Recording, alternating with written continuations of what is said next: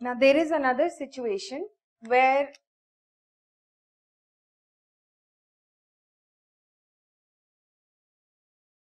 where you are um, asked a question um, about a thing which started in the past, okay?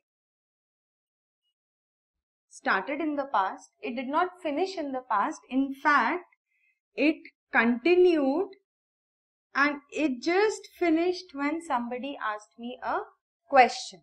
So, for example, it could be, um, so what uh, were you doing? So I was actually sleeping, okay, just before they came. So uh, rather than saying, you know, I was sleeping, rather than saying this, I was sleeping, that would mean I was sleeping and you asked me here, okay.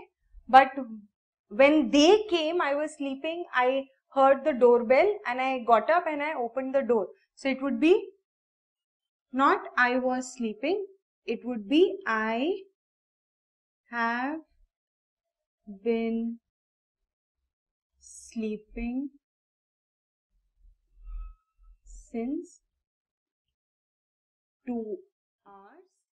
So what were you doing? I have been sleeping since 2 hours but now I got up or I woke up. Okay, so what were you doing since 2 hours? I have been sleeping. Now in present, uh, so this kind of thing, you know, when um, uh, situation just ended before somebody asked you a question, this is known as present perfect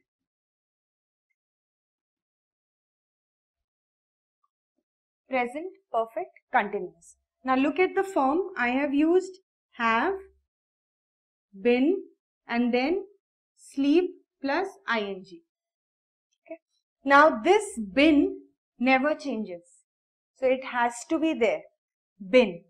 This have will either be have or it will be has.